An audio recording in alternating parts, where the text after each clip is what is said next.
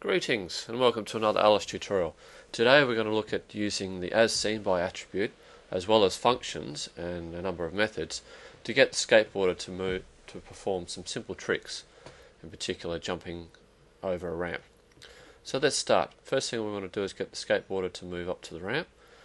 So now we notice firstly that the skateboarder has the skateboard as the vehicle, so wherever the skateboard moves, the skateboarder will move as well. So we can just quickly check on that. So skate guy, properties, notice that we've set the vehicle for the skateboarder to the skateboard. Okay, so back to the skateboard. Methods. We want to firstly turn the skateboard to face the jump.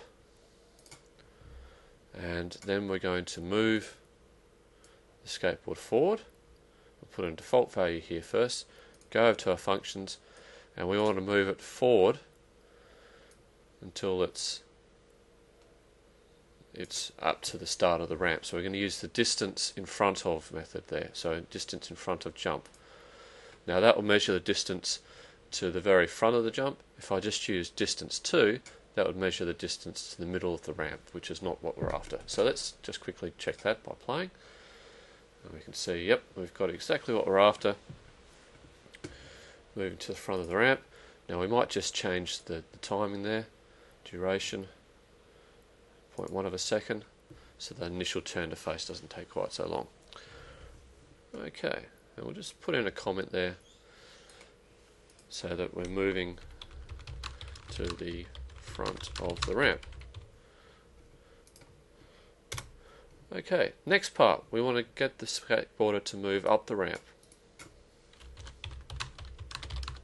So again, we put a comment here, indicate what we're about to do. Now, we could well break this up into separate methods, but we'll keep it all in one method for now. Uh, now, what we want to do is we want to move the skateboarder up to the ramp, or up the ramp. Now, while we're doing this, we want to actually angle the, the skateboard correctly. So the first thing we're going to do is do some calculations. We're going to create a new variable called angle, and we're going to use a little bit of simple trigonometry here to calculate the angle that we need to set the, skateboard to. Set value, we'll set it to a default value first, and the angle in radians will be the inverse tangent of the height of the ramp divided by the depth of the ramp. So let's go up to the world here first We'll use the arctan function. Put that into there. And then we need to go back to the jump.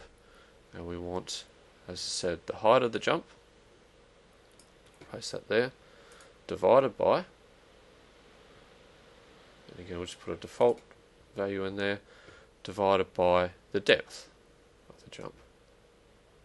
So that'll give us the angle that we need to move at the angle that we need to move the skateboard. So next we go back to the skateboard and we're going to have a do together command here. And we're going to go over to our methods. Turn that backward and we'll put in a default amount of revolutions first but we'll, we'll change that in a moment so whilst we're at the same time as turning the skateboard backwards, we want to move the skateboard forward. So move skateboard forward and again we'll put in a default amount. So let's have a look at what we need to do here. So here for the turn backwards we want to put in our angle but remember the angle is in is in radians we need to actually convert that into a percentage or a fraction of the revolution which we want to we want there. So to do that, we need to divide that number by 2 pi, which is approximately 6.28. And the skateboard, the distance we want to move forward is roughly the depth of the jump. So again, we go over to here, go to functions, and jumps depth. Let's just change the timing a little bit. So we want to want this first one to occur fairly quickly. So duration of 0.1 second, and we'll do this one over half a second.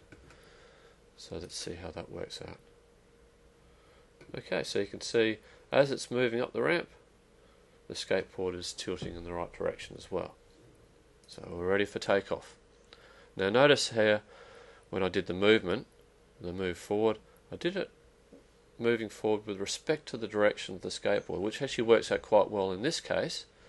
But we'll see in a moment if I want to then get the skateboard to move forward once it's off the ramp, I don't want to do it relative to the skateboard, I want to do it relative to the ground or what relative to another stationary point.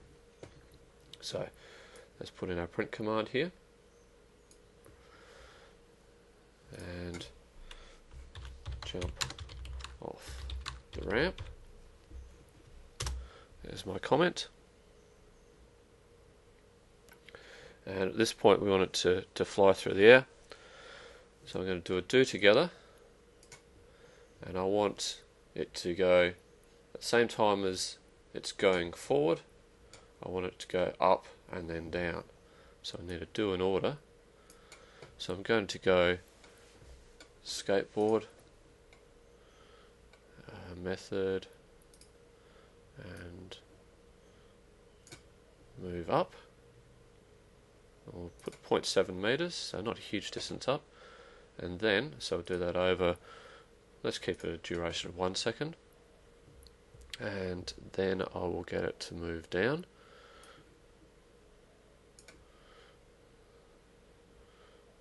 And we'll just put in a default value of 1 for now. And let's change that to the skateboard's distance above ground. And at the same time that I'm doing that, I want to get the skateboard to move forward. And we'll get it to move forward a total of 5 meters. So let's see how that works.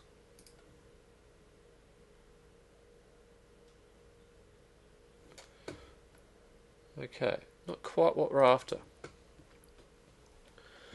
So what we want to do is we want to have this move forward. Rather than moving forward with respect to the direction of the skateboard, we want it to move forward with the direction of a stationary point. So we could do the ground, or indeed we could do something like the ramp.